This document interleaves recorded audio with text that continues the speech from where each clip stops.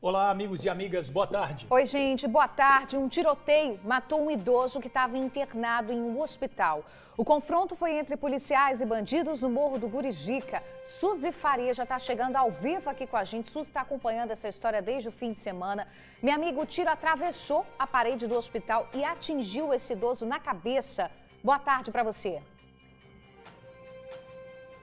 Boa tarde, Bruna. Boa tarde, George e amigos do TN. Exatamente, teria sido disparado lá do alto do morro para a lateral ali daquela parte aqui desse complexo hospitalar, atingindo o idoso de 68 anos na cabeça. Ele estava deitado.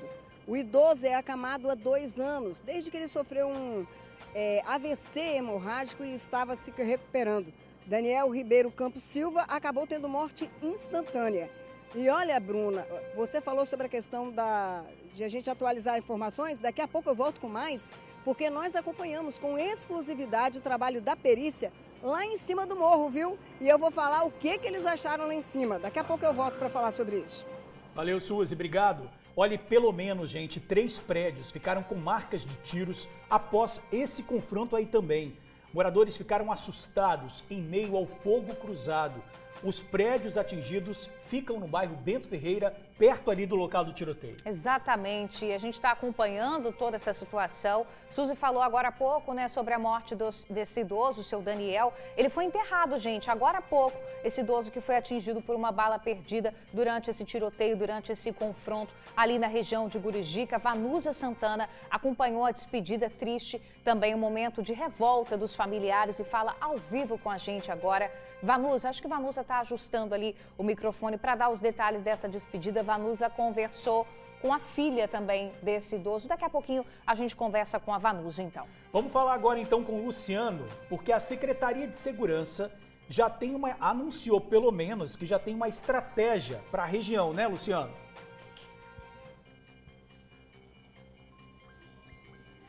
Exatamente, meu amigo. Boa tarde para você, para Bruna, para todos que nos assistem. A gente está aqui na sede da Secretaria de Segurança Pública em Vitória e daqui a pouquinho eu vou entrar ao vivo numa entrevista com o secretário Alexandre Ramalho. Ele vai dar os detalhes para a gente sobre como estão as investigações desse crime. Já já eu volto.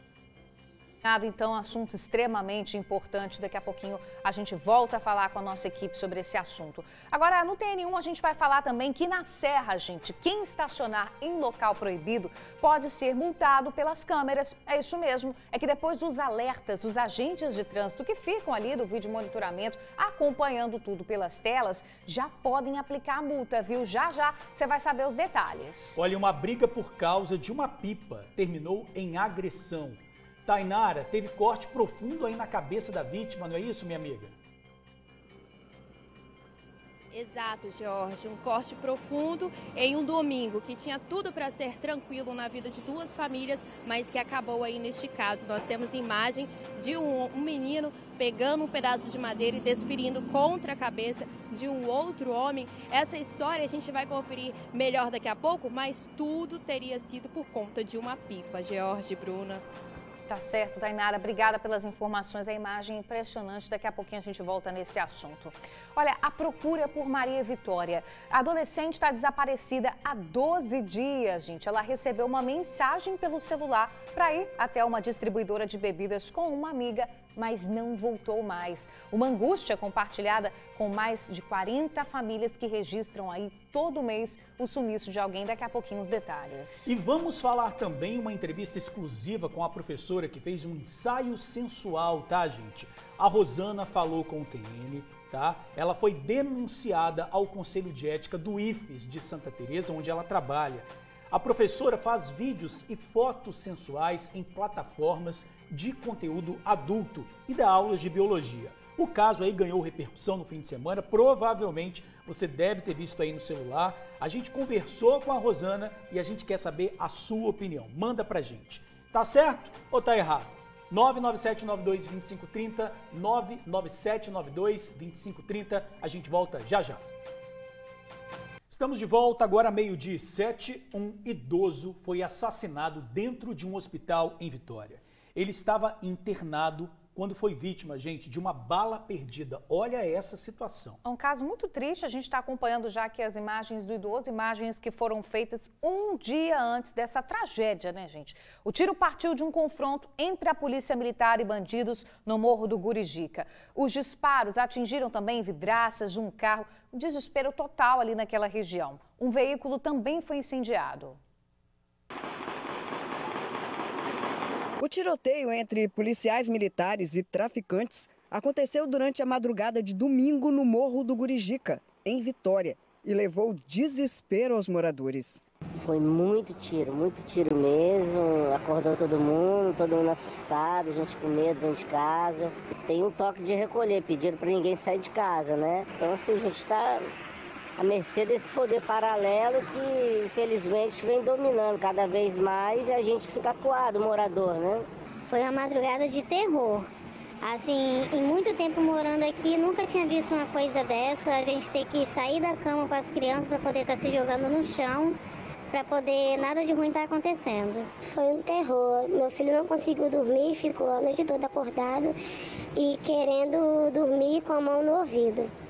Foi uma madrugada de terror. Parecia que estava dentro de casa. Os tiros eram muitos. O confronto se concentrou nessa parte, num cruzamento, onde bem no meio fica um complexo hospitalar, formado por várias unidades de saúde particulares. O local foi usado pelos militares para se abrigarem, se protegendo dos disparos que vinham lá do morro. Na troca de tiros, as consequências. O que causou desespero para uns levou luto para outros. Os disparos fizeram uma vítima inocente. Foram tantos os tiros disparados ontem de madrugada desse morro aqui, o Gurijica, que um dos disparos acabou atingindo a parede desse complexo hospitalar que fica aqui na Leitão da Silva. O tiro atingiu o quinto andar, atravessou a parede e acabou acertando a cabeça de um paciente um homem de 68 anos que estava aqui internado se recuperando de um AVC hemorrágico. A morte do paciente foi instantânea. A princípio ninguém acreditou. Parecia uma pegadinha. Este médico eu não o conheço. Ele conversou com a minha nora e falou que o pai dela foi vítima de uma bala perdida, disparada do morro, morro de Curijica. Dona Jerusa é sogra de uma das filhas do idoso.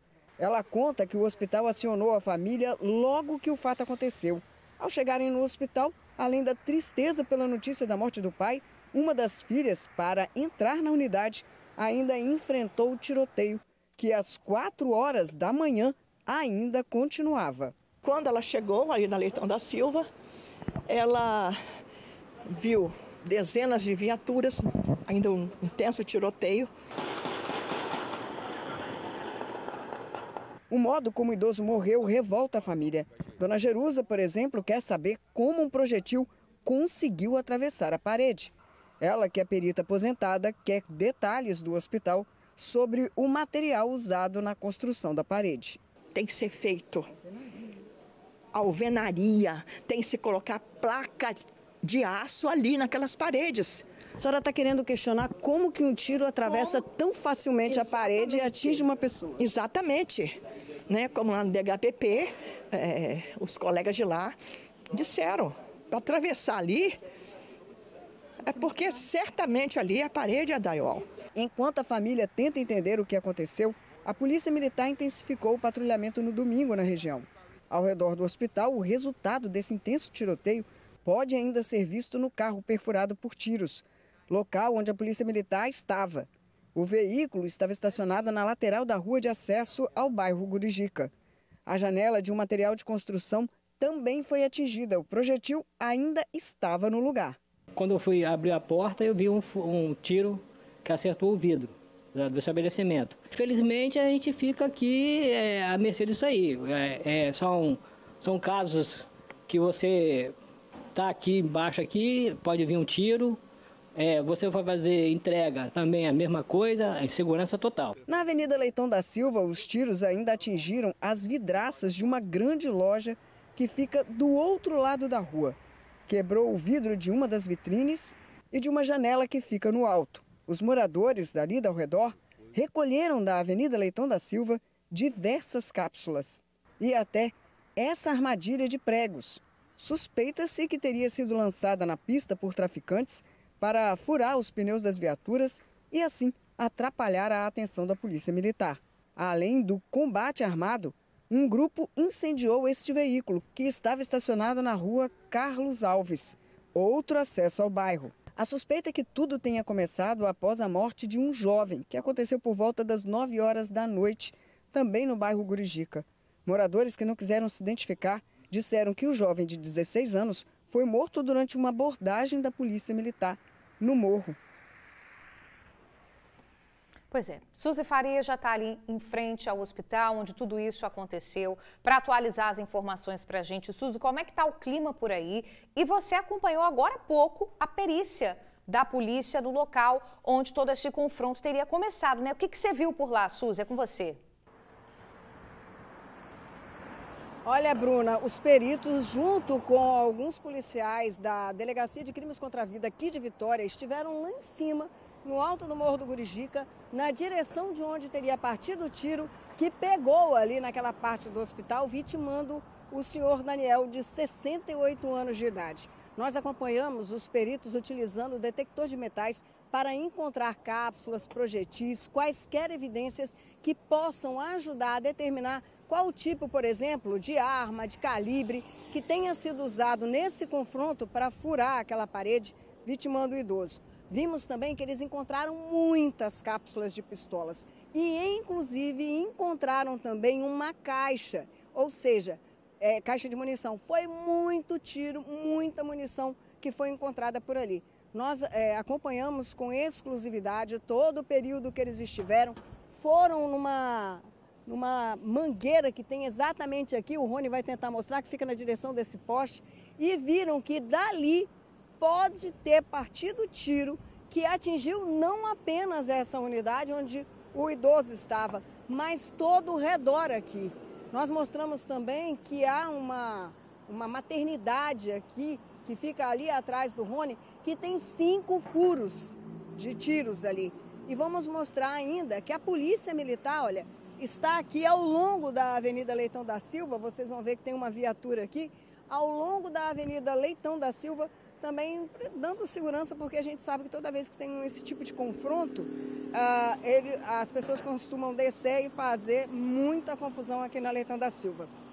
Os primeiros levantamentos sobre a pessoa que morreu pouco antes de tudo isso começar é de um rapaz que teria vindo de Aracruz para cá.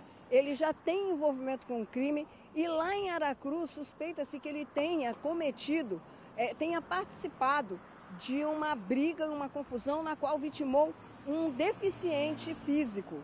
Só para vocês terem ideia. Então, há suspeita aí de que uh, pode ter sido uma ação do próprio tráfico contra esse rapaz, que teriam os traficantes colocado medo nos moradores para falar que aquilo aconteceu.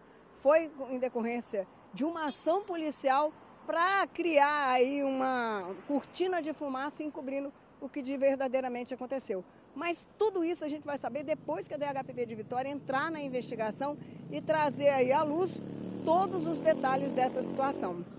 Agora, o secretário de Segurança Pública e também o comandante da Polícia Militar falaram ontem sobre esse assunto. Quem esteve conversando com eles foi a nossa repórter Manuela Machado. E aí a gente vai saber quais são as primeiras informações passadas pela cúpula da segurança. Vamos acompanhar a matéria.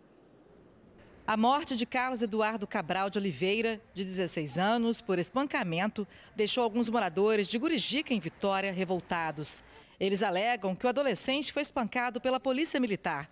O secretário de Segurança do Estado e o comandante da PM dizem que o caso vai ser investigado e não acreditam nessa versão dada por alguns populares. Nós tivemos várias ocorrências no município de Vitória, que culmina primeiro com uma apreensão de certa quantidade de drogas com dois jovens que correm da polícia e a polícia apreende esse material em Gurijica. Depois nós temos um homicídio em São Cristóvão, um jovem também tentam sequestrá-lo, ele reage, atiram nele com fuzil 556 e pistola, Depois, nós temos uma, um espancamento de um jovem de 16 anos que dá entrada no hospital e vem a falecer, também do Morro de Gurijica. E a partir daí, colocando fogo na Leitão da Silva, jogando pregos, tentando atear fogo em veículos e muitos disparos de arma de fogo. Polícia Militar é acionada, vem para o confronto armado. Na entrada do bairro já são recebidos a tiro. É uma situação muito difícil para os nossos policiais, que a vida deles o tempo todo está em risco. De acordo com a Polícia Civil, o tiro foi disparado do alto do morro a uma distância de 33 metros e acabou atingindo a vítima, que estava dentro do hospital. Provavelmente, o tiro tenha saído de uma pistola. O projetil ele vem numa linha descendente, do morro para a pista aproximadamente 33 metros é, do hospital onde foi vitimado o, o senhor Daniel. A princípio, é, o projetil é de uma pistola, não é? Pistola é, numa, numa distância dessa, numa parede de tijolo, de concreto, ele não ultrapassa. Não é? Vamos ver se então se trata-se de um fuzil, mas a princípio não. A Polícia Militar reforçou a segurança em torno do hospital. Reforçamos toda aquela região eles não bloquearam a Avenida Leitão da Silva, mas trocaram tiros intensamente com a Polícia Militar. Nós trouxemos viaturas da região de Cariacica, da região de Serra, batalhão de missões especiais. Hoje nós temos o policiamento muito mais reforçado. Nós não estamos policiando, só, policiando somente a Avenida Leitão da Silva, não.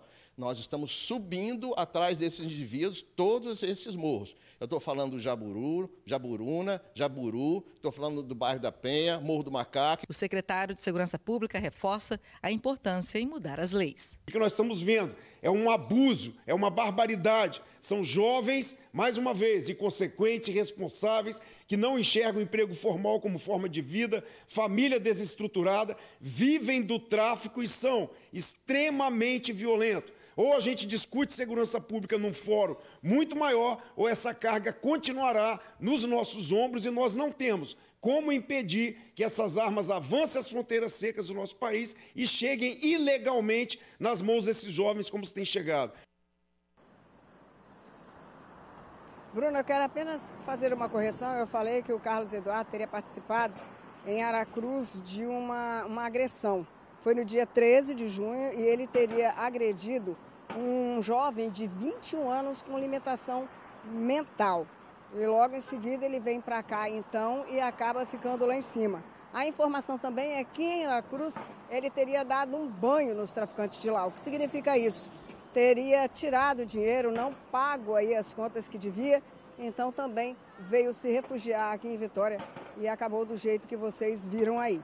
Como eu falei, a perícia que estava lá em cima do morro já desceu, já vai agora para o segundo ponto, que é o prédio que foi atingido também pelo tiro, o apartamento no qual o tiro penetrou ali, o apartamento que é no 12º andar. Então a perícia está indo para esse local para fazer também a avaliação e fazer o que o, o delegado-chefe da Polícia Civil disse, determinar aonde partiu, qual seria o calibre e, quem sabe, identificar a arma e o autor desse crime. Quem souber, tiver como denunciar, ligue para 181. George e Bruna, são com vocês. Pois é, trabalho importante da polícia que acontece nesse momento, ao longo de todo o dia hoje. Obrigada, Suzy, pelas informações. Daqui a pouquinho a gente volta a conversar. O fato é que o resultado disso tudo foi uma vida inocente perdida, né, gente? Então vamos vir para cá que a gente conversa ao vivo agora com a repórter Vanusa Santana, que acompanhou toda a tristeza e a revolta da família do seu Daniel, que deixa aí filha, esposa, deixa toda uma família, né, Vanusa? Vítima aí da violência urbana. É com você. Boa tarde, minha amiga. Muito boa tarde, vocês do estúdio, boa tarde aos amigos do TN que nos acompanham de casa. Falo ao vivo aqui do cemitério de Maruípe, onde agora há pouco foi sepultado o idoso Daniel, de 68 anos, que foi vítima aí de uma bala perdida no leito de uma clínica de longa permanência.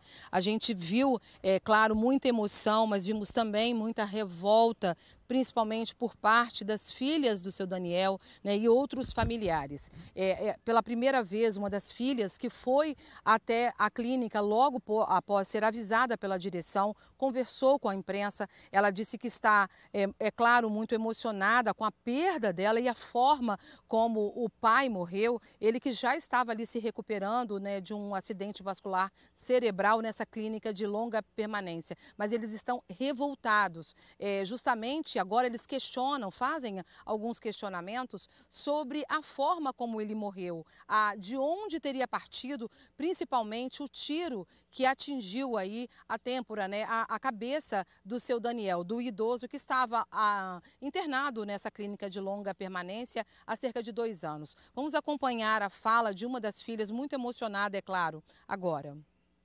Não pegou na janela, pegou na estrutura que daquela parede que é muito fina, né? E inicialmente a gente achou até que fosse um tiro de fuzil, mas depois, lá na perícia, eles já disseram que não, que era, um, que era um projetil pequeno, então que não era, né? Tanto que não, não, não, nem atravessou a cabeça do meu pai. Só pegou de um lado aqui e ficou ali alojadinho. Ele tinha fono, ele tinha fisioterapia, e meu pai era ativo, né? Ele não andava, não falava, mas, mas ele tinha todos os cuidados, ele era muito bem cuidado, né? Tinha médicos, assistência, ele não estava desamparado. Quando eu cheguei lá, minha irmã já tinha chegado uns dois minutos antes e já estava aos prantos já. O tiroteio continuava? Continuava, continuava. Eu parei no meio da rua e eu até comentei com ele que quando eu cheguei, eu vi os policiais todos escorados, escoltados no vidro do hospital. Eles estavam na, naquela posição agachados, andando e se escorando ali. E eu não entendi o que era e ouvindo pipoco, e ouvindo tiro. e trocando tiro. E a gente sempre brincava que ele vivia até 120 anos. Vida. Tinha. E quando ele falava, ele falava: vocês, vocês vão ter que me aturar. Eu falei: é isso aí, pai, a gente vai ter que te aturar. Tinha, ele tinha vida e ele era muito amado. Pois é, né? E a gente recebeu alguns vídeos, viu, Bruna e George, que mostram aí dias antes, né, dessa tragédia ter acontecido, o seu Daniel aí aparecendo, é, falando, fazendo fisioterapia. Vamos conferir aí. Ele.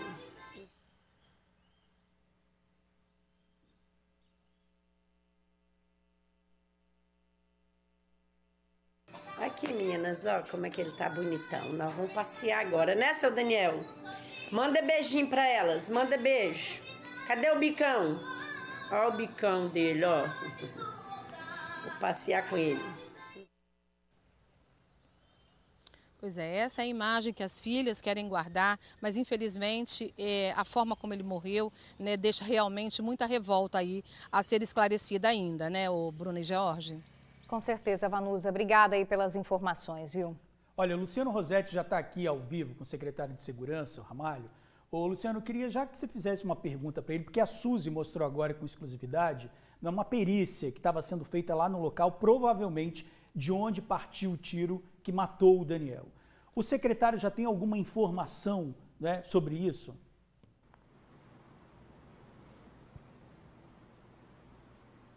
Muito bem, passar, passar para o secretário agora essa pergunta. Secretário, só para a gente começar aqui, é, a gente mostrou uma, uma reportagem agora, exclusiva da Suzy, e a gente gostaria de saber de onde partiu o tiro. Já dá para saber? Boa tarde. Boa tarde, obrigado pela oportunidade. Primeiro, lamentar profundamente o ocorrido, demonstrar a nossa consternação enquanto equipe de governo, a família do senhor Daniel.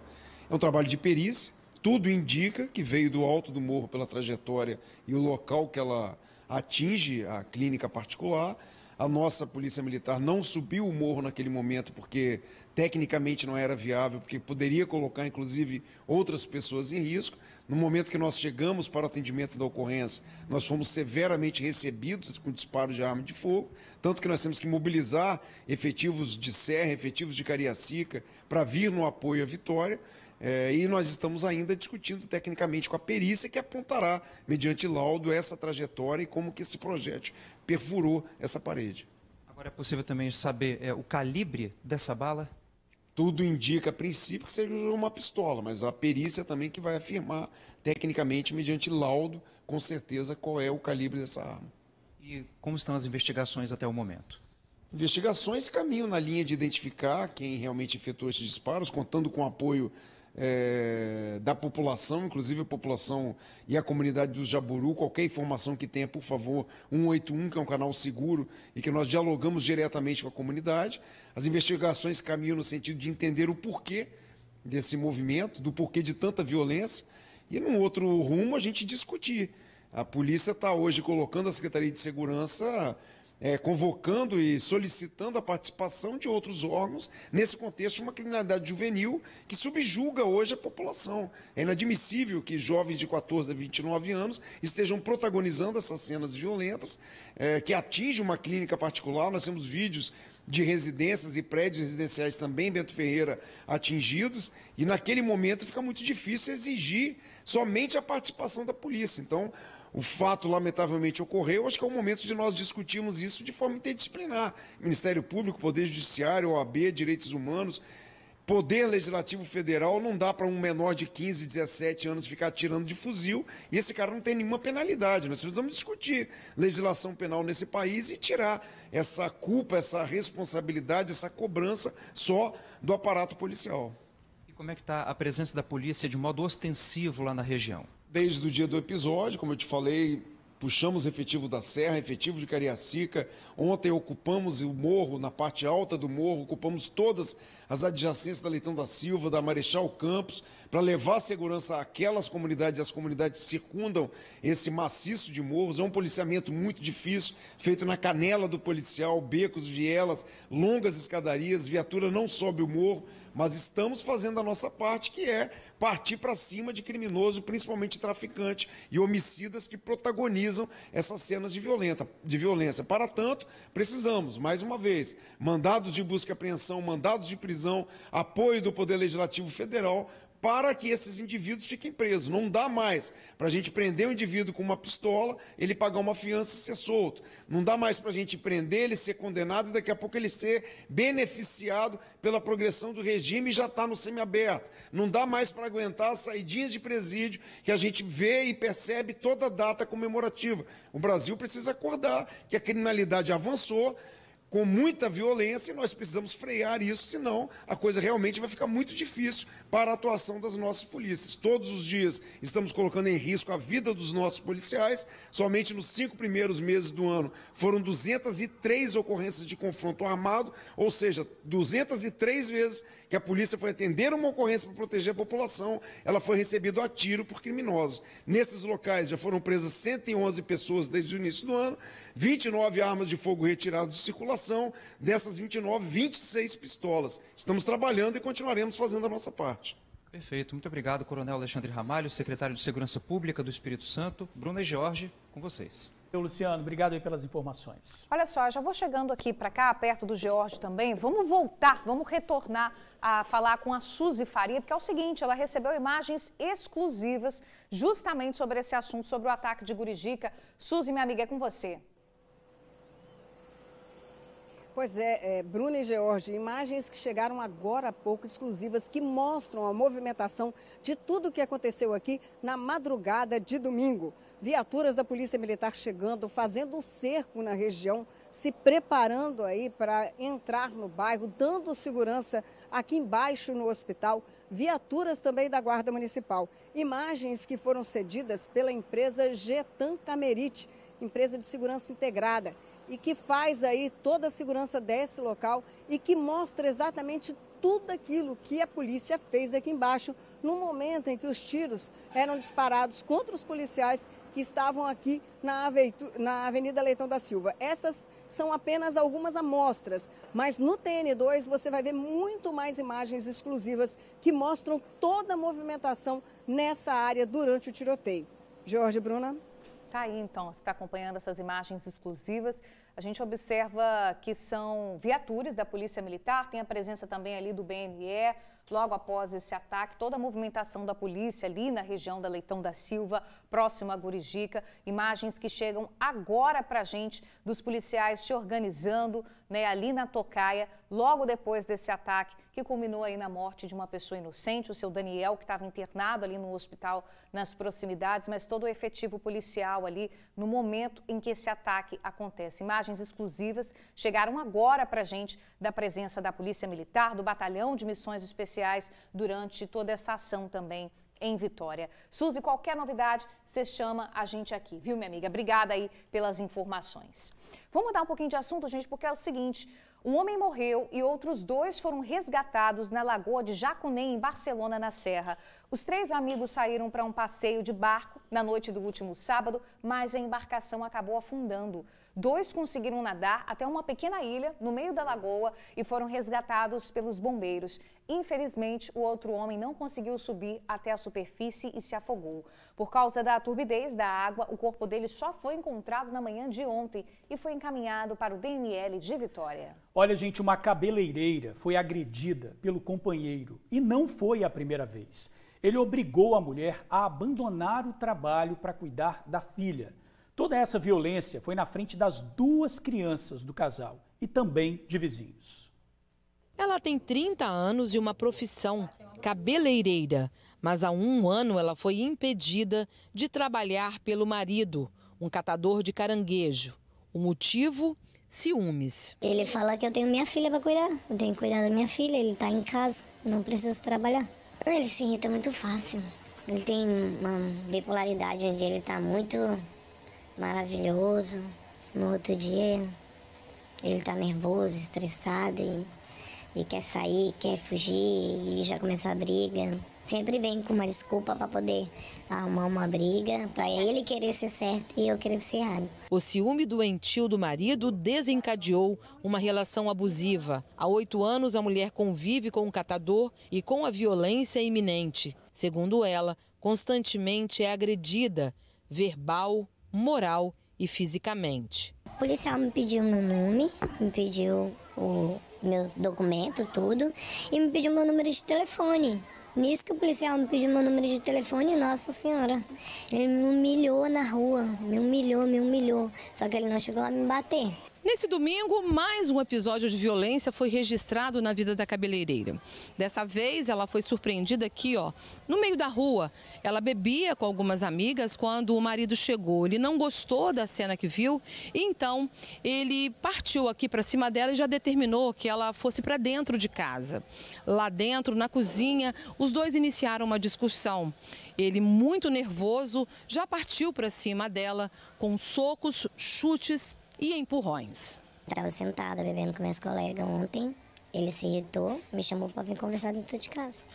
E eu fui, quando eu cheguei ali na cozinha, e a gente começou as agressões. E me deu dois socos aqui e um na, na cara. Aí, na hora que eu fiquei com raiva, peguei a faca para tentar me defender, fui para cima dele. E ele saiu correndo para a rua, eu fui correndo atrás dele, ele conseguiu pegar a faca de novo. Foi na hora que ele conseguiu me bater de novo, que ele me deu um soco na boca e um soco na bochecha. Toda a violência foi na frente das duas filhas do casal e de vários vizinhos. Depois das agressões, o catador foi beber em um bar localizado em Mário Ortiz, mesmo bairro que o casal mora. A cabeleireira pediu socorro à polícia e o marido acabou preso dentro do estabelecimento. Apesar da prisão do companheiro, a mulher tem medo que ele deixe a cadeia. Gritou que se se eu, se eu fizesse alguma coisa contra ele, ele ia me matar, que ele só não me matou aqui porque a neném está dentro de casa. Que absurdo, né? A gente está vendo esse caso de violência contra a mulher e a gente traz outro na sequência, porque é o seguinte: a polícia resgatou uma mulher que era mantida em cárcere privado pelo namorado no sul do estado. Era com essa arma que a gente vai ver a imagem aí, ó, que o suspeito ameaçava a vítima. A mulher era agredida e proibida de sair de casa. Ela conseguiu pedir socorro, mandando uma mensagem de WhatsApp para uma vizinha que conseguiu acionar a polícia. A jovem tinha marcas de violência pelo corpo. O namorado chegou a encostar a arma do lado da cabeça dela e a disparar. Além do revólver, ele mantinha debaixo da cama uma faca e munição. O suspeito de 37 anos foi autuado por lesão corporal, ameaça, injúria e por privar alguém de sua liberdade. Ele foi encaminhado ao presídio. E olha, uma adolescente está desaparecida há 12 dias. O sumiço aconteceu na Serra depois que a jovem recebeu uma mensagem pelo celular. Os últimos dias têm sido de muita angústia para a família da adolescente Maria Vitória Prata da Silva, de 16 anos. Isso porque ela está desaparecida desde o último dia 15, quando recebeu uma ligação e disse à mãe que iria em uma distribuidora de bebidas com uma amiga. Ela recebeu mensagem de alguém e falou com o pai dela que ia até a distribuidora e voltava rapidinho. Eram as 7 horas da noite. E ela falou de quem que era essa mensagem? Quem que ela falou que ela ia encontrar? Não, comigo não falou não e nem com o pai dela. Em casa, a relação familiar sempre foi tranquila. Os pais dizem que ela é uma menina que se dá bem com todos e por isso não conseguem encontrar uma explicação para esse sumiço. A relação nossa com a Vitória foi uma das melhores que teve, né? Porque até então ela ia comigo, muito parceira, ela ia comigo para tudo quanto é lado. E eu não acredito que ela saiu de casa assim, sem dar notícia, sem falar nada. Ela sempre saiu, porém, ela sempre deu notícia, ela nunca desligou o telefone, ela sempre falou onde estava, com quem ia sair. E de repente desapareceu. Desesperada, a gente já não come, já não dorme bem. E tá tudo muito difícil aqui em casa. Estou sem trabalhar, meu esposo está sem trabalhar. Mandei meu filho para Minas para ficar lá porque para ele não ficar sozinho. Só que a gente tem que retornar ao trabalho, né? A vida da gente tem que continuar, a gente não pode parar. E não é só a família da Vitória que passa por essa angústia. Aqui no Espírito Santo, cerca de 40 pessoas desaparecem por mês. Segundo dados da Secretaria de Segurança Pública, 90% das pessoas que desapareceram foram localizadas. Os familiares agora pedem por mais atenção ao caso. Queria pedir um, um apoio à polícia para eles estar dando atenção ao caso. Aqui no bairro tem muitas câmeras e nenhuma foi puxada até agora. E, e nos estabelecimentos que a gente passa para pedir informação, pedir para ver a câmera, eles não liberam para gente, para eles estar olhando essa parte aí para gente. Alguém que estiver com ela, que mande ela vir embora, que mostre a reportagem para gente a gente precisa continuar a nossa vida, a gente não pode parar onde que a gente está. Pois é, desespero dessa família, né? A Polícia Civil diz que as investigações e as diligências estão em andamento. Quem tiver qualquer informação que possa ajudar as investigações, pode ligar para a polícia através do 190 ou também por meio do 181. Olha, um jovem foi morto a tiros quando passava de moto no bairro Rio Marinho, em Vila Velha. O corpo de Pedro Ivo Pereira Lisboa Coelho, de 20 anos, ficou caído embaixo da moto. Segundo a Polícia Civil, ele foi morto com mais de 10 tiros. A vítima passava pela Avenida Rio Marinho quando foi assassinada. Pedro morava em Barra Mares, também em Vila Velha. Parentes foram ao local, mas não quiseram conversar sobre o crime. De acordo com uma colega de Pedro, na tarde deste domingo, ele pegou a motocicleta emprestada para comprar marmita para a mulher. A Polícia Civil disse que o caso é investigado pela DHPP de Vila Velha e até o momento nenhum suspeito foi detido. Olha, gente, daqui a pouquinho a gente vai falar sobre um caso que aconteceu em Vila Velha também. Olha o perigo. Um homem foi preso depois que ele estava passeando pelas ruas de Vila Velha num carro de luxo e ele, de acordo com a polícia, teria disparado tiros para o alto. Ele foi parar no DML hoje para fazer exame de corpo e delito. A gente está vendo as imagens, tá? Esse é o empresário que foi detido por esse assunto. Dentro desse carro de luxo, enquanto ele disparava os tiros, de acordo com a polícia, tinha uma criança, Nossa. tá? Então daqui a pouquinho a gente vai falar sobre esse assunto. Ô, gente, olha no que terminou uma briga boba por causa de uma pipa em Vila Velha acabou em agressão e um corte profundo na cabeça. Pois é, vamos conversar então ao vivo com a repórter Tainara Nascimento, que traz os detalhes dessa história. Tainara, essa vítima levou pauladas na cabeça, minha amiga. Boa tarde para você. Boa tarde, Bruna. E exatamente, tudo como o Jorge disse, por um motivo bobo, né? Por conta de uma pipa tudo isso aconteceu no bairro Alvorada, em Vila Velha, na tarde de ontem, que tinha tudo para ser uma tarde tranquila, mas é, acabou com esse homem com um corte de aproximadamente 10 centímetros na cabeça e esse outro rapaz que aparece nas imagens desferindo três pauladas na cabeça dele, conduzindo a delegacia. Mas ele não ficou preso e a gente vai entender melhor daqui a pouquinho. Mas antes vamos entender o relato que a mãe desse rapaz que foi conduzido contou à reportagem hoje pela manhã. A pipa dele voou, né? Ele foi tirar aqui no poste em frente à minha casa. Esse rapaz, esse indivíduo veio, né? Todo alcoolizado, segurou ele e deu um soco nele. Ele foi com a pipa, com o pau que ele estava tirando a pipa, ele foi, deu uma ripada nas costas dele, né? Ele veio, continuou dando porrada nele. Ele foi, deu uma ripada nele, mas ele nem, assim, ele estava tão assim, cabeça quente, que ele nem sabe assim aonde que bateu. Quando eu saí, eu só vi aquele tumulto, aquela bagunça segurando meu filho e falando que meu filho tinha, tinha quebrado a cabeça de um rapaz. Seguraram meu esposo, seguraram meu filho, não querendo deixar meu filho entrar para dentro. Meu filho hoje já foi trabalhar, né? Lógico que a gente fica meio, né? Porque é uma coisa que não acontece, né? Mas aconteceu. Pois é, nós ouvimos aí o relato da mãe desse rapaz que chegou a ser conduzido, mas a Polícia Civil, por meio de nota, informou que ele assinou um termo porque não havia um elemento suficiente para é, dar o ato de flagrante naquele momento. Mesmo a Polícia Militar informando que haviam vídeos em anexo na ocorrência. Agora a gente também foi atrás desse homem que está ferido. Soubemos que ele já recebeu alta, levou vários pontos na cabeça, mas ninguém da família dele quis conversar com a nossa equipe. A gente vai continuar acompanhando esse caso para entender melhor o que aconteceu. Mas ficam aí as imagens, né, de um motivo bobo por conta de uma pipa, todo esse transtorno na vida de duas pessoas, George, Bruna. Agora é impressionante como, com flagrante da imagem, ele não ficou preso. É por isso que causa revolta, né? É Vários revoltante, casos assim. é revoltante por causa de uma pipa. Quer dizer, o outro rapaz podia ter morrido, gente. Ele podia ter matado o outro rapaz. Olha a violência. Obrigada, Tainara, aí pelas informações. Gente, é o seguinte, vamos dar aqui para a câmera 1, já vamos aqui para o cantinho chamar a Vanusa Santana ao vivo, com a história que a gente já adiantou para vocês, né? Vanusa, minha amiga, um homem foi preso em um carro de luxo porque ele estava atirando para o alto no meio da rua. É com você. Exatamente. O suspeito foi identificado como Alexandro Leão Vieira, de 36 anos. Ele que foi preso ontem à noite ali nas proximidades do bairro Santa Paula, na rodovia do Sol, depois aí de, de uma perseguição feita pela polícia.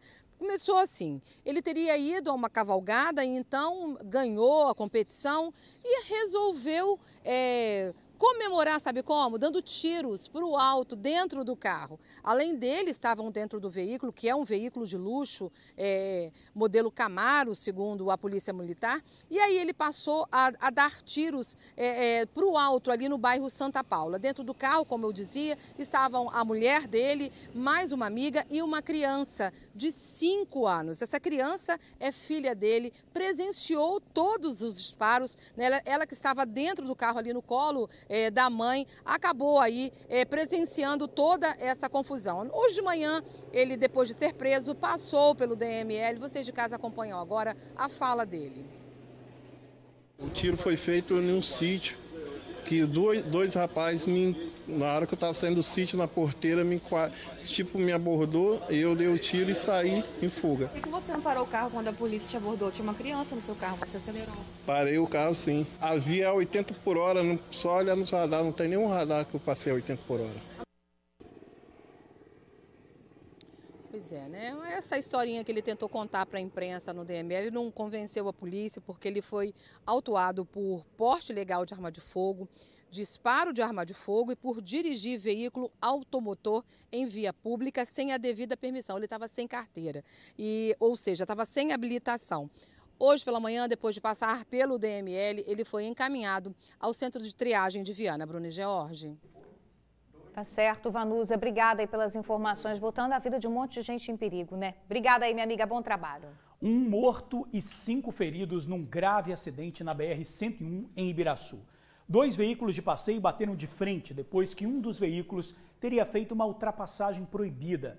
Um dos motoristas morreu, de 32 anos. Gente, morreu na hora. Uma jovem de 23 que estava no carona foi socorrida para o hospital Jaime Santos Neves, na Serra.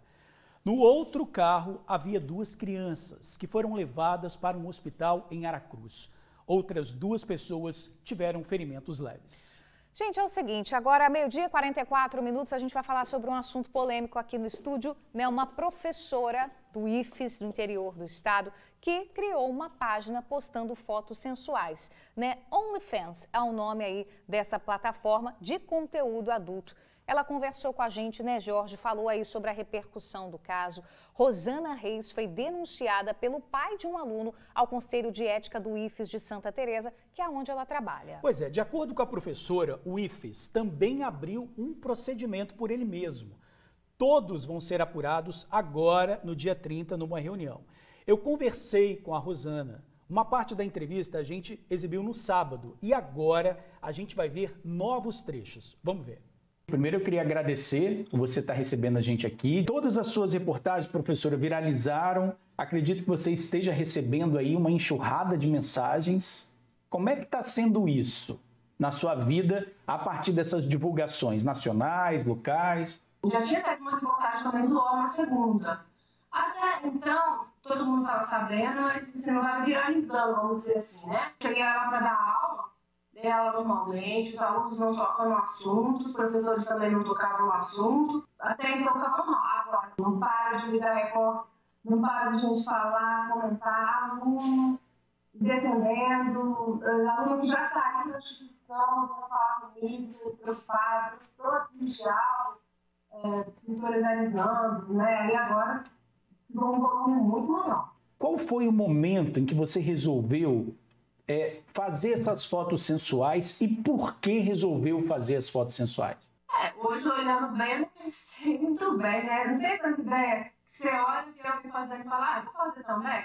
Não foi uma coisa que eu pensei muito, muito bem, eu acho. Você pensou por dinheiro, por exemplo?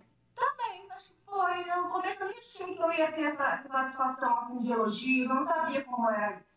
Eu nem conhecia esse meu lado sexo. A gente sabe que tem dois lados, né? Quando, quando a gente está numa corrida, tem aquele que vai dar a mão e tem aquele que vai botar o pé para a gente cair. Como é que você está vendo esses dois lados? Dá para você pesar esses dois lados agora? Na rede social, mensagem que você está recebendo? Agora, depois de tudo isso, eu estou recebendo muitas mensagens de apoio que eu nem conheço. Eu vejo assim, as mensagens, o pessoal fala, Ana, eu estou lendo é, 90% de mensagem de apoio. Os alunos defendendo, amigos que eu achava que estavam meio estranhos, mas agora eu estou com é, apoio gente desconhecido. Quem é pessoa fala, olha, eu vi essa história, você não está fazendo nada de errado, você não está fazendo um crime. Então, isso está sendo muito, muito bom. O que eu estou levando mais em conta mesmo são é, as mensagens de apoio. Isso aí, nossa, a gente ouve falar que quando acontece com você, realmente tem um significado muito grande. Assim, todo esse apoio que eu estou tendo Uh, pessoal que, que acompanha, que comenta nas reportagens, ou que entra em contato comigo.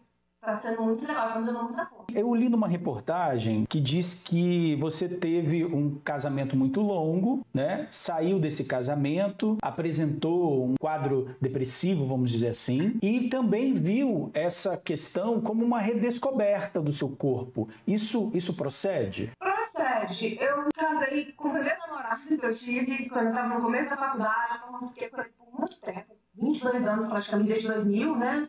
22 anos, e a pandemia se gastou muito no nosso relacionamento. Eu fiquei realmente depressiva, fiz até tratamento psicológico, paguei. É, com, na, na, na pandemia, comecei a ficar muito estressada, bebia muito, comecei a beber, comecei a ter problema até de alcoolismo, na minha opinião, porque eu estava bebendo quase todo dia. Como é que você é, é, recebeu essa denúncia no Conselho de Ética do IFES de Santa Teresa? A verdade foi assim, é, o Comitê de Ética mantém isso em sigilo. Na verdade, eles não me falaram. Eu estava num... Teve há pouco tempo um evento no IFES, né? E eu fui sentar para falar com uma amiga e tinha uma pessoa lá que era do Comitê de Ética. E eu perguntei. Perguntei, para como falar o processo? Ela falou, é, realmente, tem sim um processo uma denúncia de um caso de aluno, né? Então, é que eles confirmam. Quando o pessoal vai lá e perguntam pra, oficialmente da reportagem, eles falam, nós temos um processo de denúncia, de auditoria, escola de sigilo, mas o que me adiantaram, né, algumas pessoas, é que é, tem dois processos. Um do próprio Instituto, que abriu um, um, processo por ofício, sem a denúncia e um por denúncia. Eu imagino assim, que talvez a minha atitude fora da instituição pode manchar o nome da instituição, supor que eu estiver dando golpe, se eu estiver cometendo um crime, sei lá, traficando, fazendo coisas que são ilegais, lá o que, crime. Então, se eu estiver traficando ou, sei lá, fazendo algum tipo de pirâmide ou coisa assim, que é ilegal, isso realmente talvez, assim, talvez, nem tenho certeza, poderia falar assim, ah, tá mostrando o nome da escola você está fazendo uma coisa legal, que todo mundo sabe que é errado.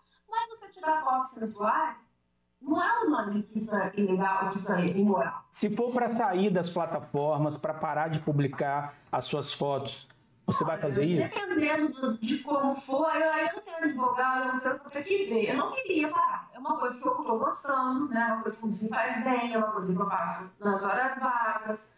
não queria, mas dependendo, eu vou ter que parar, eu não sei, né? Porque se for a mesma coisa que eu vou tomar um processo administrativo, se eu for porque eu risco de perder meu emprego. Como eu disse, eu não quero perder meu emprego. Foi muito difícil conseguir, eu concorri só com doutor. Queria que você deixasse uma mensagem para os telespectadores, né, para a nossa audiência que estiver te assistindo agora, as pessoas que estão te criticando, que não entendem, não entendem sua vida, não entendem o seu motivo. O que, que você tem para dizer para elas? Olha, as críticas a gente tem que estar sempre esperando, né? Se você vai fazer uma coisa dessa, você não esperar que você criticar. É, depende de quem critica a forma, né? Algumas críticas eu, eu não levo em conta. O que eu estou levando mais em conta mesmo são é, as mensagens de apoio. Isso aí, nossa, a gente ouve falar que quando acontece com você, realmente tem um significado muito grande. Assim, todo esse apoio que eu estou tendo. Uh, pessoal que, que acompanha, que comenta nas reportagens, ou que entra em contato comigo está sendo muito legal, está me dando muita força. Né? Fala, não desista, Rosana, você está certa, você, né, é, é, você é ótima, você é perfeita, está linda. Então, essas mensagens assim, eu queria agradecer, essas mensagens de apoio. Pois é, gente. Em nota, o IFES informou que a Comissão de Ética teve conhecimento do caso a partir da denúncia recebida pelo sistema Fala.br, que é o sistema de ouvidoria do governo federal. A denúncia está na fase de procedimento preliminar pela Comissão de Ética. Afirmou que não se trata de um processo administrativo que possa resultar em uma punição. Neste momento, busca-se apenas um esclarecimento dos fatos para a pessoa denunciante e também para a instituição. É, ao final, caso seja constatada uma infração ética, é proposto um acordo para que a pessoa denunciada faça ajustes em relação ao que for necessário e o processo aí corre em sigilo. É, a gente pediu várias opiniões, então você pode entrar na nossa página arroba TV Tribuna Jornalismo no Instagram, já tem vídeo lá e faça o seu comentário. É isso aí.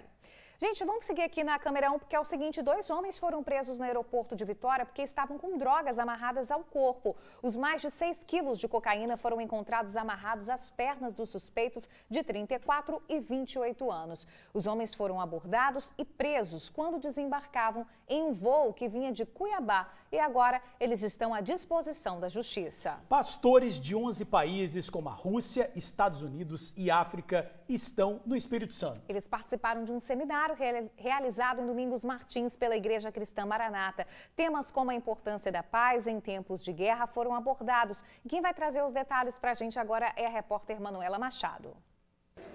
Boa tarde, Jorge Bruna. Boa tarde a todos que nos acompanham. Nós estamos aqui para conversar com o vice-presidente da Igreja Cristã Maranata, Alexandre Gueiros, que também está recebendo 11 pastores de todo o mundo, né, pastor? É importante esse encontro de vocês para falar aí não só do amor, mas também, infelizmente, da violência, guerra. Prazer dirigir meus telespectadores.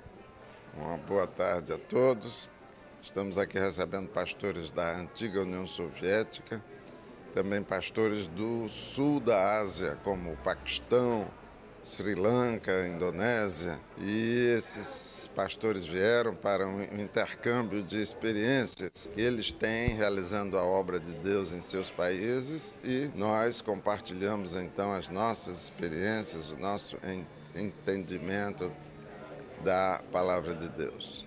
Tem uma presença aqui, né, um pastor que veio da Rússia nessa época aí tão complicada, né, para eles. Sim, o pastor é, Sergei Punka, ele nasceu na antiga União Soviética e mora no, atualmente nos Estados Unidos, mas de três em três meses vai à Ucrânia para evangelizar naquelas regiões atingidas pela guerra. E vamos ouvir a palavra, o senhor traduz. Очень приятно быть в вашей стране. Страна очень красивая. É um prazer grande estar em vosso país, muito bonito este país. Мы были там, где идет война сейчас. Nós estivemos lá no cenário da guerra. И то, что люди долгое время строили, все разрушается в одну секунду. E tudo aquilo que eles construíram em um segundo é destruído. Поэтому желаем Бразилии мира. Por isso desejamos muito a paz que há no Brasil. E o próximo encontro já está marcado? Nosso encontro provavelmente será nos países deles, em setembro. Um, um, grupo de pastores brasileiros estará visitando alguns desses países. Sempre transmitimos, sempre gravamos e repassamos as nossas igrejas aqui no Brasil. Bom, muito obrigada, pastor. Obrigado Volto com vocês aí no estúdio. Valeu, Manuela, obrigado. E já já a gente volta com os gols da rodada. TN1 de volta, hora dos gols do Brasileirão. A partida entre Flamengo e Santos terminou com vitória para o Mengão, que venceu aí por 3 a 2 Jogaço também, muitos gols. E o Palmeiras e Botafogo, hein, G? Ó, Maravilha. Tiquinho Soares bombando, hein, gente? É isso aí. 1 a 0 pro Fogão, tá líder isolado. Líder isolado. Líder isolado. Mandou muito bem ali contra o Palmeiras. Tá na hora de encerrar o TN1 desta segunda-feira. Boa semana pra gente, gente. Beijo, até amanhã. Valeu, gente. Até amanhã.